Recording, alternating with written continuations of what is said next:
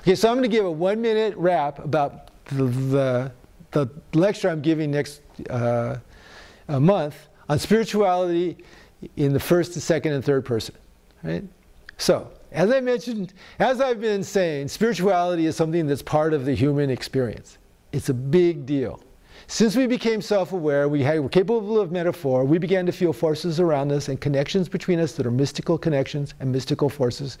They exist. I'm convinced of it. I've experienced it. I've had lots of psychic experiences. You know, that ship has sailed for me. And spirituality is such a big thing that there's not one definition of it. My friend Ken Wilber does a lot of definitions of it, and I believe in most of them. In fact, all of them. Uh, he, I never disagree with that guy. He's one of those people you can't disagree with him. And so there, is, there are different forms of spirituality that we're drawn to, different forms of relationship with God. You know, God is you, God is I, God is nature. And there's different forms of spiritual practices, solitary ones and communal ones, that everyone is naturally drawn to and we naturally constellate in our lives.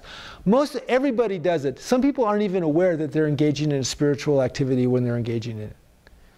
It's central to all of our experience, it's central to all of our relationships. A sense of the sacred is one of the most important and necessary things of the whole human experience.